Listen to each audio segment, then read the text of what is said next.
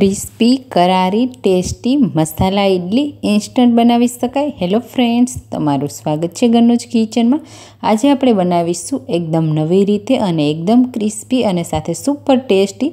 આ ઇડલી ફક્ત પાંચથી દસ મિનિટમાં બનીને તૈયાર થઈ જશે. તો બાળકોના લંચ બોક્સમાં પણ તમે બનાવીને આપી શકશો. અને કંઈક નવું ખાવાનું મન થાય ત્યારે આ એકદમ ફટાફટ આ ક્રિસ્પી સ્પોટ ઇડલી તૈયાર કરી શકાય. તો એકદમ ટેસ્ટી, જોતાં જ ખાવાનું મન થઈ જાય તેવી મસાલેદાર સ્પોટ ઇડલી બનાવવાનું શરૂ કરીએ. તો એના માટે સૌથી પહેલાં આપણે એક નોનસ્ટિક તવો લેશું અને તવા ઇડલી પણ કહેવામાં આવે છે. એની ઉપર આપણે બે ટીસ્પૂન તેલ એડ કરીશું.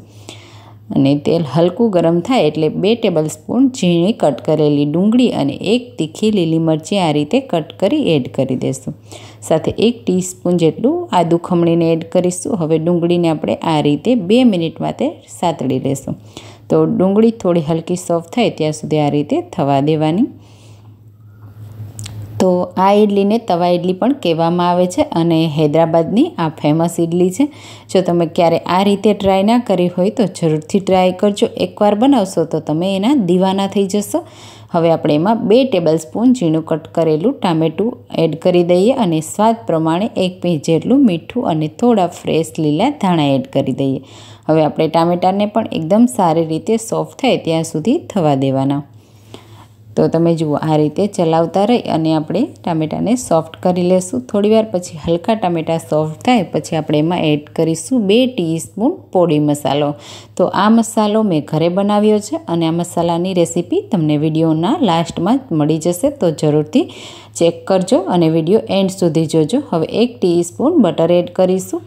અને આ ઇડલીની ખાસ મેઇન ખાસિયત એ જ છે કે આ મસાલો, આ મસાલા સાથે આ ઇડલી બનાવવામાં આવે છે. તો આ ઇડલી એકદમ પરફેક્ટ બને છે. તો હવે આ મસાલાને તમે જુઓ, એકદમ સરસ એવો સોફ્ટ થઈ ગયો. તો આપણે સેન્ટરમાં લઈ લઈશું અને આપણે આમાંથી ચાર ઇડલી તૈયાર કરીશું. તો એને ચાર ભાગમાં આ રીતે ડિવાઈડ કરી લેશું. અને હવે આ ચારેય ભાગને આપણે થોડા રાઉન્ડ શેપ આપી દઈશું એટલે આપણી ઇડલી એકદમ સરસ એવી રાઉન્ડ શેપમાં બને. તો તમે જુઓ, આ રીતે બધો મસાલો આ રીતે સેટ થઈ જાય, પછી આપણે ઇડલીનું બેટર લેશું. તો આ બેટર કેવી રીતે બનાવવું તે તમારે રેસીપી જોતી હોય તો મને કમેન્ટમાં કહેજો, હું તમારી સાથે એક રેસીપી પણ શેર કરીશ અને બેટર કેવી રીતે બનાવવું તે પણ શેર કરીશ. તો તમે જુઓ, આ રીતે આપણે બબે ટેબલ સ્પૂન બેટર એડ કરી દઈશું અને આ રીતે જે મસાલો આપણે તૈયાર કર્યો છે એને સારી રીતે ઇડલી બેટરથી કવર કરી દઈશું તો તમે જુઓ, એકદમ સરસ રીતે આપણે આ રીતે કવર કરી દેવાનું. એટલે મસાલો છે ઇડલી સાથે એકદમ સરસ અંદર સુધી કવર થઈ જાય. અને આ રીતે બધી ઇડલીમાં બેટર આપણે એકદમ સરસ રીતે સ્પ્રેડ કરી દઈશું તો બધું બેટર મેં સ્પ્રેડ કરી લીધું. ઉપરથી આપણે જે પોળી મસાલો બનાવ્યો છે તે આ રીતે સ્પ્રિંકલ કરી દઈશું અને અને આ ઇડલીને આપણે બટરમાં બનાવવાની હોય છે તો ઉપરથી આ રીતે આપણે નાની નાની સાઈઝના બટરના ટુકડા કરી એડ કરી દઈશું અને બટરને થોડું મેલ્ટ થવા દેશું, એટલે એની બટરની ફ્લેવર બધી જ ઇડલીમાં આવી જશે.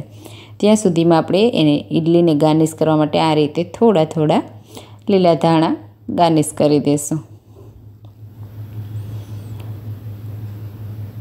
તમે જુઓ, થોડી જ વારમાં બટર સરસ રીતે મેલ્ટ થવા લાગ્યું અને નીચેના ભાગમાં ઇડલી છે એકદમ સરસ એવી ક્રિસ્પી થઈ ગઈ હશે અને ઉપરથી થોડી ડ્રાય થઈ જાય, પછી આપણે સાઈડને ચેન્જ કરી દેવાની. અને બીજી સાઈડથી પણ આપણે ક્રિસ્પી કરી લેવાની. તો હંમેશા આપણે સોફ્ટ ઇડલી જ ખાતા હોઈએ છીએ, પણ જો તમે આ રીતે ક્યારેક ક્રિસ્પી ઇડલી ખાશો તો તમે વારંવાર બનાવશો અને આ રીતે તમે જુઓ. સાઈડ ચેન્જ કર્યા પછી આપણે બે મિનિટ માટે બીજી સાઈડથી પણ એકદમ સરસ એવી કૂક થવા દેશું.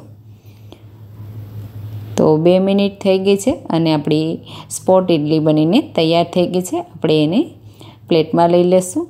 અને આ જ રીતે બાકીની આપણે સ્પોટ ઇડલી તૈયાર કરીશું. તો આ સ્પોટ ઇડલી કે તવા ઇડલી તમે જરૂરથી ટ્રાય કરજો અને આ ઇડલી સાથે હું સર્વ કરું છું નાળિયેરની ચટણી. તો હવે આપણે પોળી મસાલો તૈયાર કરી લઈએ. એના માટે આપણે વન ફોર્થ કપ અડદની દાળ અને ત્રણ ટેબલ સ્પૂન ચણાની દાળ લઈ લઈશું અને બંને દાળને આપણે હલકી ગોલ્ડન કલરની થાય ત્યાં સુધી રોસ્ટ કરીશું. તો આ પોળી મસાલામાંથી તમે ઘણી બધી પ્રકારની ઇડલી તૈયાર કરી શકો છો. તો આ મસાલો બનાવી અને તમે છ મહિના સુધી સ્ટોર પણ કરી શકો છો. તો આ રેસીપીને તમે ખાસ જોજો અને એકદમ પરફેક્ટ સાઉથ ઇન્ડિયન સ્ટાઇલ આ મસાલો હું તૈયાર કરું છું. તો તમે જુઓ, દાળનો કલર ચેન્જ થઈ ગયો, ગોલ્ડન કલર આવી ગયો, અડદની દાળ તો એકદમ સરસ ગોલ્ડન થઈ ગઈ છે. તો હવે આપણે આ દાળને એક પ્લેટમાં લઈ લઈશું અને બાકીના મસાલા પણ રોસ્ટ કરીશું. તો હવે એ જ પેનમાં આપણે વન ફોર્થ કપ સફેદ તલ એડ કરીશું. અને આપણે એને એક મિનિટ માટે સરસ એવા થવા દઈશું તો પેન ગરમ હશે એટલે તલ તરત જ શેકાઈ જશે. તો અહીંયા તલ એકદમ સરસ એવા ફૂટવા લાગ્યા. બસ આ રીતે ફૂટવા લાગે પછી આપણે તરત જ આ તલને પ્લેટમાં લઈ લેશું. તો દાળ સાથે જ આપણે તલને એડ કરી દઈશું હવે પોળી મસાલાનું મેઇન ઇન્ગ્રીડિયન્ટ સાતથી આઠ કશ્મીરી લાલ મરચાં અને પંદરથી વીસ આ રીતે મીઠા લીમડાના પાન અને એક ટીસ્પૂન ડ્રાય એડ કરીશું. એક ટીસ્પૂન જીરું એડ કરીશું અને હવે બધી વસ્તુને એકદમ સરસ આપણે ડ્રાય રોસ્ટ કરીશું.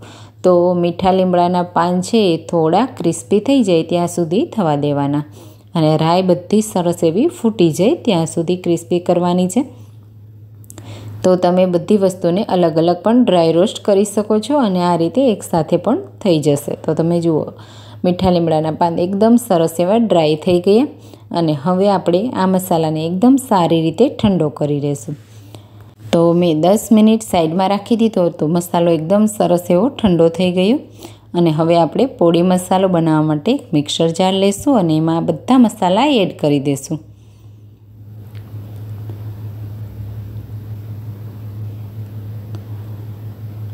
અને હજી આપણે એમાં બાકીના મસાલા પણ એડ કરવાના છીએ.